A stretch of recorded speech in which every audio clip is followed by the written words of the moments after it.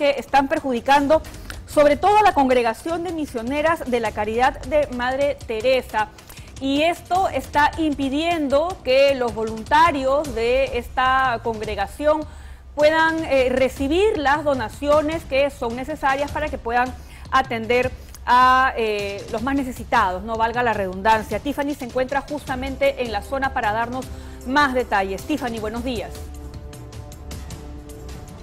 Muy buenos días, Claudia Pamela y también a los amigos televidentes. Efectivamente, caos vehicular es, se va a registrar aquí en la avenida Aviación. Estamos exactamente en el cruce de esta avenida ya mencionada con 28 de julio. Y ustedes pueden observar que todo está completamente cerrado y que esta vía se ha convertido en doble sentido porque han clausurado la vía de acceso vehicular que va desde la Avenida México hasta la Avenida Grau. Y justamente en una esquina se encuentra esta, este, este convento, casa hogar, que eh, se está viendo perjudicado justamente porque no puede entrar donaciones que eh, siempre ellos recibían. Se encuentra aquí un voluntario justamente de esta iglesia para que nos dé eh, los detalles.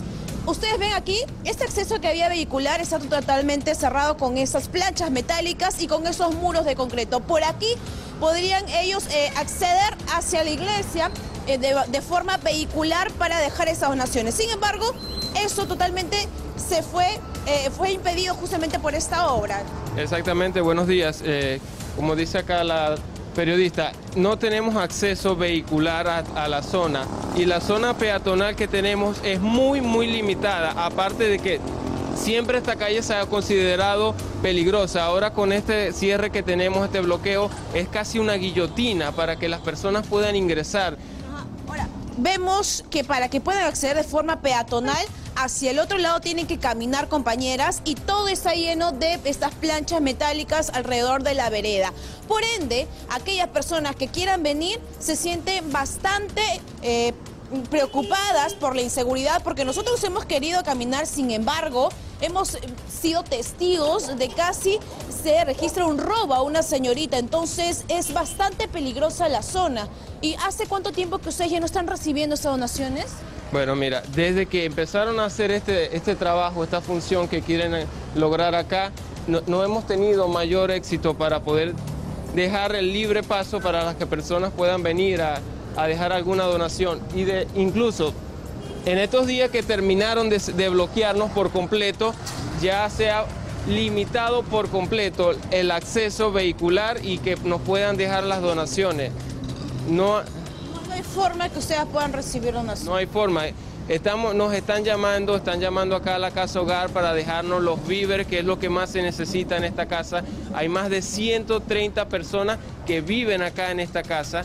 También me comentabas que en esta casa hogar hay niños que se van a la escuela de muy temprano y tienen que pasar por estas limitadas eh, veredas que están cubiertas de estas planchas metálicas y que cada vez se va siendo más angosto, ¿no? Y es peligroso para ellos. Claro, claro, mira. ¿Cuál es el acceso que tendrían caminando?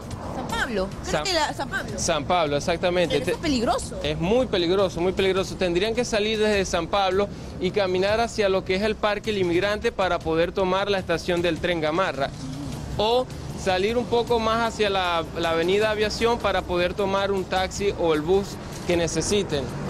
Ahora, compañeras, muy aparte de esa, esta problemática, van a ustedes observar en la pista de la avenida Aviación que han tenido que pintar eh, con líneas amarillas para que los vehículos puedan pasar en ambos sentidos. Hay presencia de la Autoridad de Transporte Urbano, el personal que está acelerando el tránsito, porque ustedes sabrán que esto es una bomba de tiempo en la tarde, porque esa avenida se llena de ambulantes justamente. Entonces vamos a ver si es que este mismo, ese mismo acceso o esa misma viabilidad que tienen los vehículos se verá eh, eh, por la tarde y por la noche, porque imagínense, aquí no hay mucha, la luz no, no ilumina mucho, ¿no? La iluminación no nos ayuda, tanto en la zona peatonal como en la, eh, en la zona vehicular.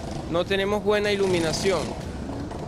Esto impide bastante el tránsito. Mira, mira, aquí, aquí, voltea, voltea, como, como, como los vehículos están tratando de darse la vuelta y eso puede generar pues un accidente de tránsito, compañeras, con ustedes. En este caso, las hermanas de Madre Teresa de Calcuta no han quedado enclaustradas por voluntad propia, sino que les han cercado incluso hasta el pase peatonal. En esa muralla de cemento y de fierro que vemos al frente, ¿existe algún pase para el peatón o está cerrado de extremo a extremo? No, no, hay pase para el peatón. Aquí exactamente en el cruce 28 de julio con aviación no hay ningún pase. Se ha cerrado. Incluso ustedes ven ustedes los muros de concreto, las planchas metálicas y arriba incluso hay un cartel donde dice no camine por la pista cuida tu vida, no cruces. Entonces, el, el, el único acceso que tienen de forma peatonal es hasta... No quieren, sino porque no pueden. Este, lo que vendría siendo la, una de las entradas de la cachina, que es la entrada de García. ¿A cuántas cuadras? Por allá, eh, sí, la entrada de allá a la derecha. ¿Estamos a cuántas cuadras? Este, una, dos cuadras estaríamos para poder ingresar. A ver, intenta cruzar, Tiffany. Lo que vendría siendo Manzanilla o la Casa Hogar. a cruzar hacia dónde, hacia dónde compañeras, que por hacia, los vehículos, como ustedes comprenderán, no podemos cruzar. No, no, por ahí, por ahí no. Y, es decir, y acá está el personal de la Autoridad de Transporte Urbano. ¿Qué tanto tendrías que caminar, no? Efectivamente, para poder llegar. Sí, tendríamos que caminar, a ver, tendríamos que caminar desde este punto a dos cuadras más adelante. Ajá. Ahorita van a ver, donde los vehículos están volteando a la derecha. Ajá. Ahí, ahí a la derecha tienen las personas que voltear, cruzar, pero ese lugar es un punto crítico, muy peligroso, porque ahí es donde nosotros hemos sido testigos de estos actos delictivos, compañeras. Claro, es una zona insegura, me imagino, un punto rojo de la victoria. Así es, por es camino a la cachina, digamos así, es el ingreso a esa calle, la cachina donde venden pues eh, objetos ya inservibles o de segunda mano y hemos visto eh, la, cantidad de personas, ¿no? Es eh, donde, donde el acto delictivo donde la peligrosidad abunda en esas calles, ¿no? Entonces la persona tiene que caminar y además, sí. Sí, y, justo estamos viendo imágenes que han compartido con nosotros de la misma zona en la que se encuentra esta congregación, ¿no? Está la pista y ustedes pueden ver al otro lado de la pantalla, ¿no? Que está en obras, ¿no? Completamente eh, destrozada, ¿no? Y hay un cerco que está rodeando toda la casa, eh, toda la congregación. Y claro, imposible que un camión llevando alimentos, llevando víveres que son necesarios para atender a los pobres, a los enfermos, pueda ingresar a esa zona.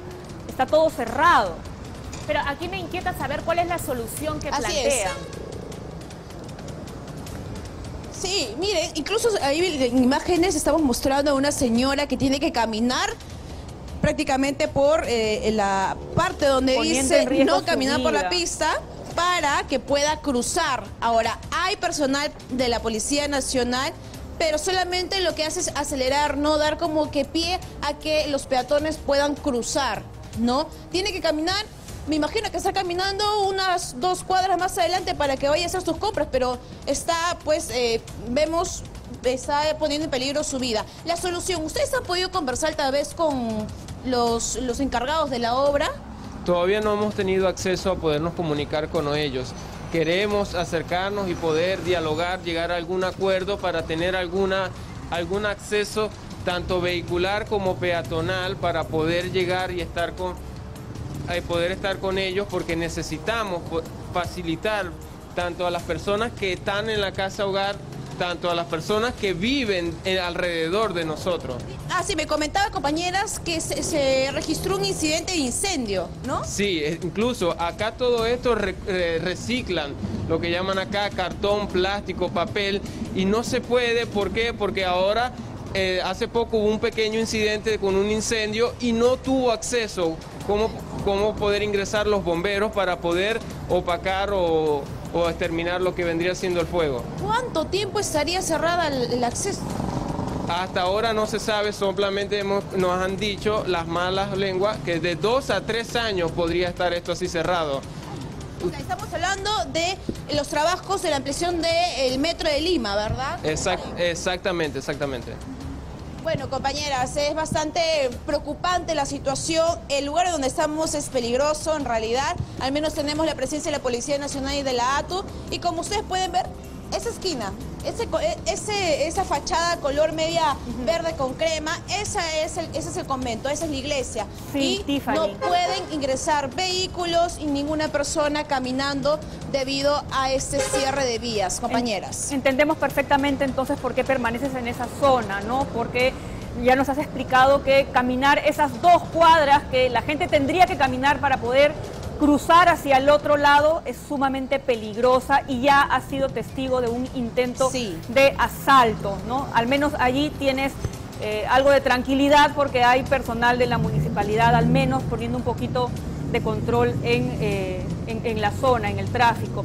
Y, esperemos que esto sirva de una llamada de atención, ¿no, Vicky? Para que les den un poco más de seguridad que si solamente van a tener esa zona para que los peatones puedan cruzar, que al menos pongan policías, pues, ¿no? Para poder garantizarles la tranquilidad. Es que esto de acá refleja nuevamente que en la ciudad se prioriza el automóvil antes que el peatón. Miren ustedes, el peatón está ahí intentando cruzar.